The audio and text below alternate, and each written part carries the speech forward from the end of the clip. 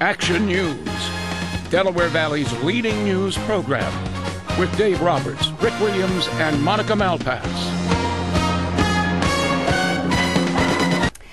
It is now illegal to smoke anywhere, even outdoors, on Pennsylvania's 14 state owned universities. That includes Cheyney and West Chester universities. The school's chancellor made the decision the day before the state's new, much less restrictive smoking ban went into effect last week.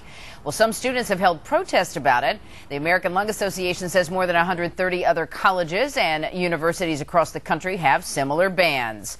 Violators will be fined and they could face disciplinary action.